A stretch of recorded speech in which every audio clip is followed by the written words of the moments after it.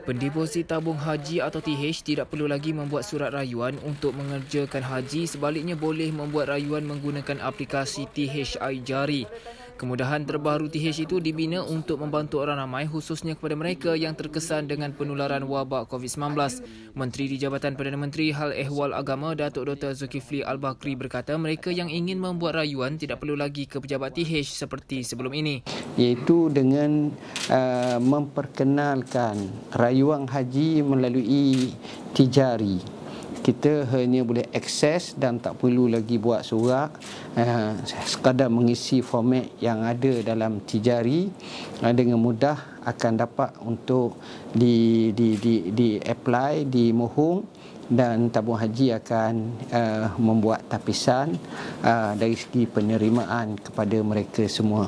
Ini pendekatan baru yang saya harap boleh memudahkan uh, masyarakat dan tidak perlu bergerak begitu lama jauh ke tabung haji tapi memadai dengan mengisi dalam aplikasi tijari tabung haji ini insya-Allah. Beliau berkata demikian ketika merasmikan muzakarah haji peringkat kebangsaan ke-37 di Menara TH pada Selasa.